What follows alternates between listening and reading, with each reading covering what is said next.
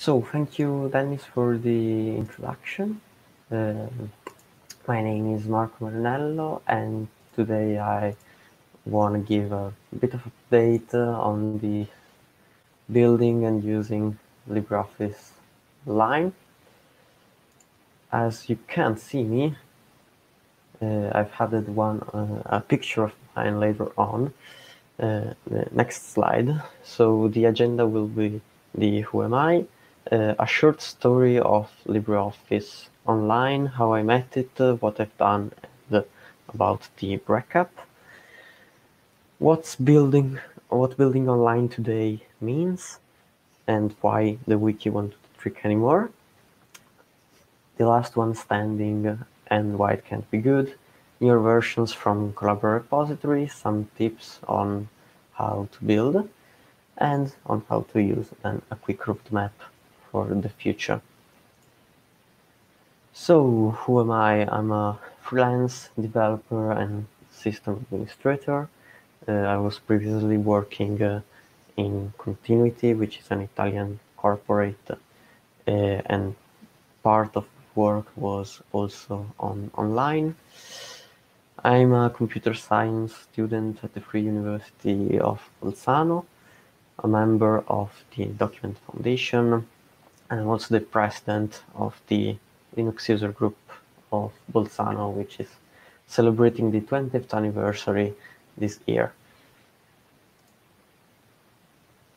So the short story of online, if some of you doesn't know uh, what LibreOffice Online is and the dynamics behind it. So it was announced back in 2011 with the idea of bringing uh, the LibreOffice package into a browser and have collaborative editing and so on. It was mainly developed by Collabora and it's written in C, C++, JavaScript and requires running his executable on a web server. So it's not something you can just upload on a shared hosting. You pay a couple of euros a year.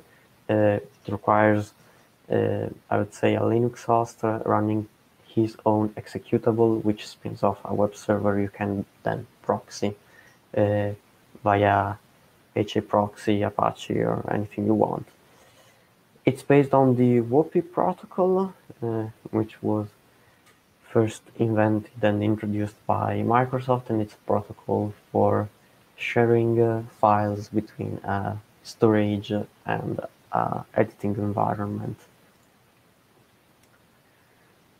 So CIB, uh, which as we now know uh, was spinned off as uh, Allotropia, and by the way, it's an honor for me to speak next to uh, Thorsten and the Allotropia team.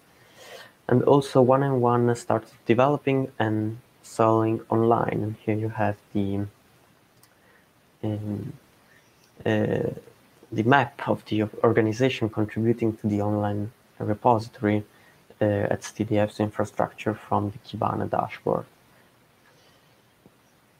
Online becomes the subject of many talks. So on the wiki page of LibreOffice Online, you have a short list that will need to be integrated after the talks of LibOCon of this year. And yeah, as you can see, it was quite an interesting topic. Was presented and talked about quite a while. Last time in 2019 uh, was the SFS uh, I was there since it's held in Bolzano and I live here. And was basically when I was also working on LibreOffice Online. Online is being integrated in many distributions for self-hosting and commercial products. So uh, this is also um, taken from the TDF wiki. Um, we have a list of commercial products, uh, mainly clouds, let's say, or Nextcloud instance, that also offer the online editing through LibreOffice Online.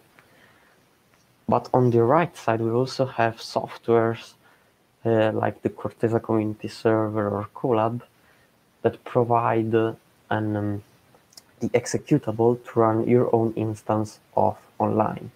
So you were able to have your Nextcloud instance or OwnCloud or anything else and integrate it with your own online server. So I said it was the 2019 when I was working on the FUSS Remote Access, which is a web application for remotely accessing files in distributed LDAP ensemble-based infrastructure. When I met uh, LibreOffice Online, so the integration with online editing was pretty interesting. And it turned out uh, there were almost no documentation on how to build it. And the wiki page was more commercial. So there was um, um, the, lists we have saw before regarding the providers. Uh, there was a short story on how uh, online uh, project was started, but there is there was no indication uh, on how to build it.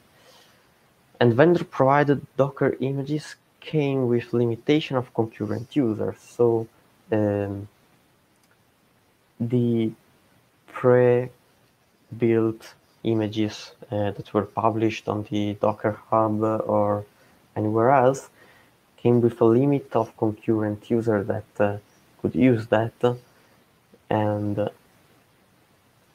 after the, the, that limit was reached, uh, the N plus one user would just get a message, uh, the limit is over, buy a license.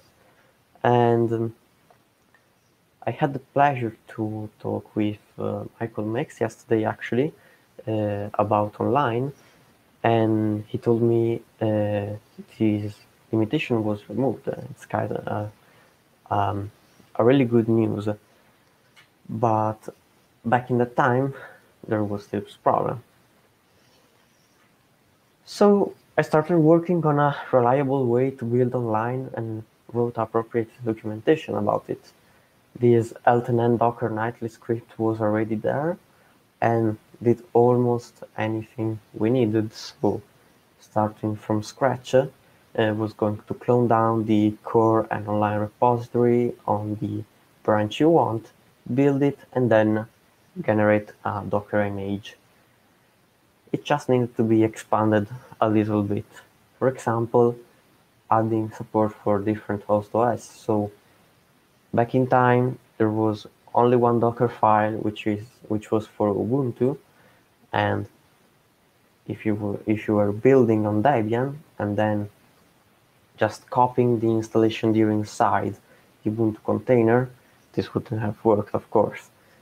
So one of the things we have made uh, was provide different Docker files so that the script can autonomously decide which one to use depending on your um, host system.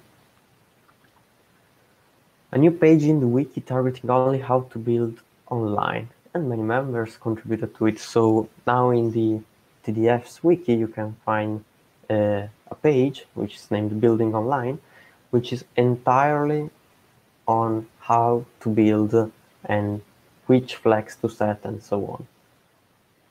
There are also other pages for the reverse proxy, for example, that, that were not quite finished. So yeah, this is one of um, the things done that are really done. So the breakup, shortly after the release of LibreOffice 7, Collabora announces they will fork online and stops contributing upstream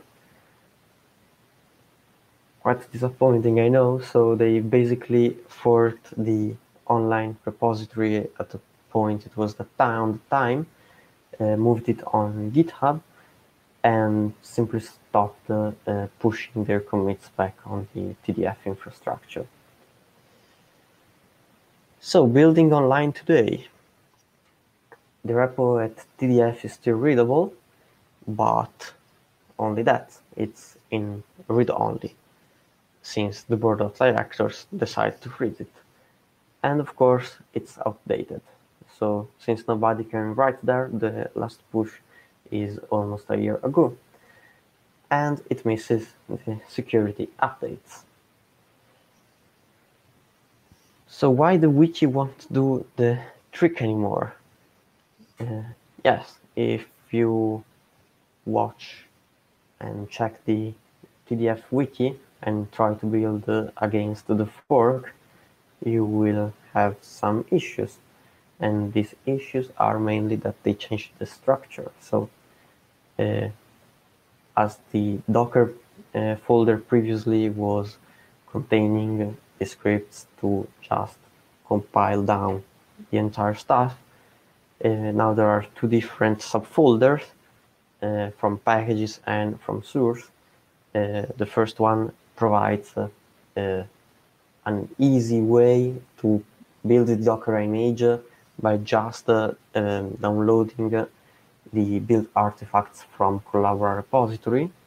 So the Debian packages, install them into the container, load the, the license key, and you go.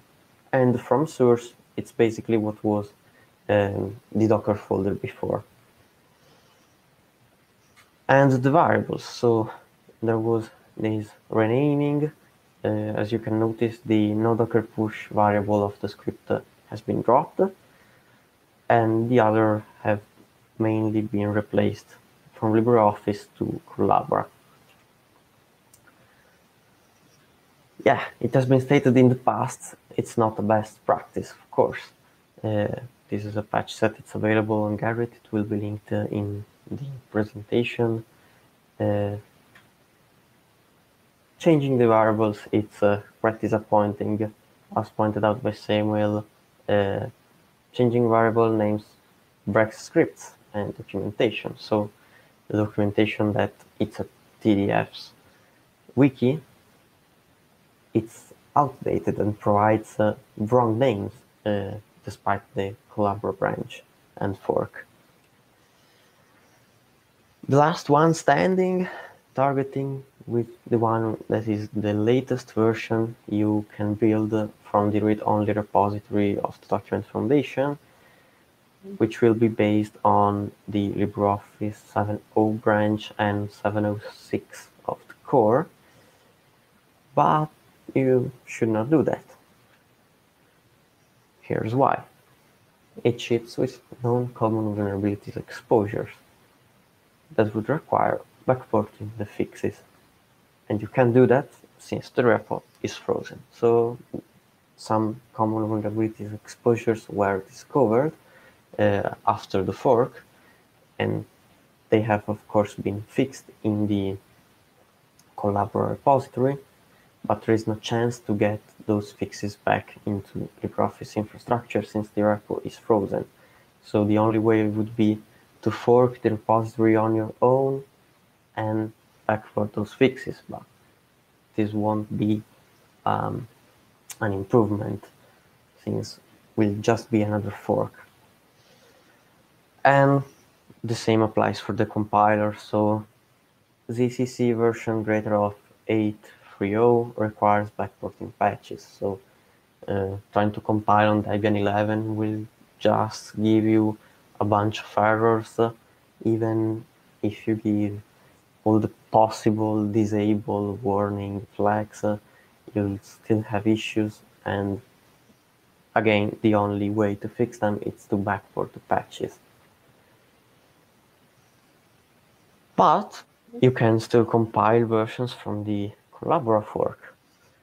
Uh, the script is now the docker from source build.sh and will default to distro Collabora CP64 branch for the core of LibreOffice and for the master uh, for to the master for online, which up to this night doesn't compile, but you can use the distro Collabora COX64, which is the stable version, and you can always refer to the GitHub releases uh, to check out which is the latest stable if you want, you can, of course, also download the uh, releases from GitHub and compile from there if you want to avoid uh, stuff with Git going, going on.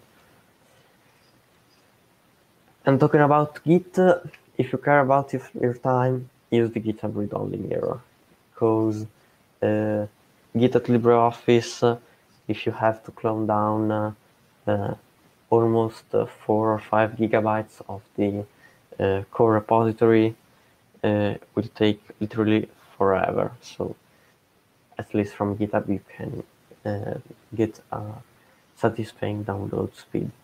And of course, for both online and core. Use Ccache if you don't want to compile it from zero every time and set it up properly. So set a cache size that is appropriate. So five or 10 gigabytes. And keep in mind that building will require many hours. Uh, in my experience, more than five on a 12 core Xeon with 16 gigabytes of RAM. Now the most interesting part, so using online, uh, how can you nowadays use online?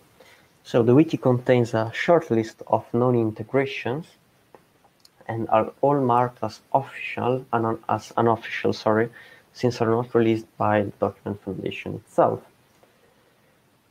And as mentioning, Nextcloud is one of the strongest integration we can notice, but there is also a Moodle plugin, uh, which is quite interesting in my opinion, allows you to um, collaboratively edit documents with the students or allow them to uh, submit an assignment uh, using the online editor.